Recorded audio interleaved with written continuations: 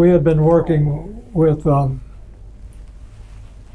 one of the GE divisions, the aerospace division, and they were going to build us a little small, compact transaction processing operating system. And when they said, "Oh, we got it, it's ready to go now," it's, it's got between 2,000 and 3,000 instructions. And we said, we only allowed 4,000 for everything. And then we just said, well, that's very nice, but thank you very much. So only in the last year did we get around to worrying about what we were going to do for an operating system. I said, well, an operating system, this is like a store and forward Mhm. message system. And we got we got to store and retrieve and forward. Yeah, it sounds like a database problem.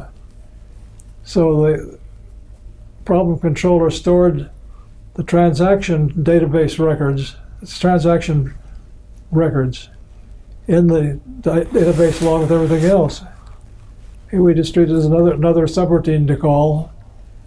And it, it called did it loaded the data, selected which transaction type to use, picked the first transaction of the transaction type, loaded the program that went with it, or if it wasn't already loaded, and turn over control of it and get out of the way. So we had a our operating system transaction controller is probably less than six hundred, less than seventy instructions because they're all IDS instructions. Because we're storing and retrieving re- Mhm. records, and we're not looking inside of the records. We're, Yes. So it's just, just one more thing to store and retrieve. Mm-hmm. And The, the other thing that came along with this, because it was being done with IDS, that uh, if you had an application program that ne- needed to create a new transaction in the transaction world, it's all the data descriptions there you need to store the, the, a transaction record with all of its data.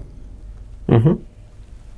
So the way we handle level structuring in the parts explosion was that we just start the highest level doing parts explosion, and it, and it would leave a record of the next anything in mortar explode. And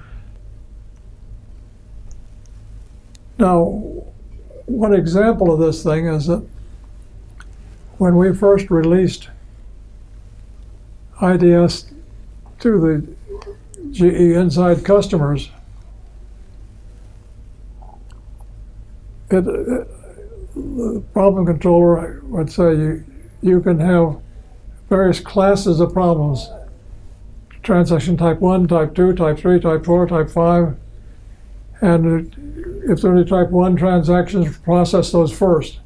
If there's none of those, you do process the second one next, the third one next. And that worked nice, but in the second year we were running, Weyerhaeuser Lumber, who were the first non-GE user, said, this is very nice, but we want to shift our priority from day to night. And then shift it back the next day. So there are some transactions that are very important during the day, but because the, results can go back to the sales office, Mm-hmm. it's open. But at night, we don't, we don't worry about their, what they want back tomorrow. We want what someone else wants back tonight for shipping purposes. So Weyerhaeuser added one more field to the transaction master record that was its priority number, so that at night they could reshuffle these cards again and run it all night long, and then tomorrow they shuffle it back the other way. Mm-hmm. But the ability to have a transaction control system that can respond to business requirements, and it took them, well, about two, probably two days' time to, to make a, what would be a fundamental change to someone's hand-coded system.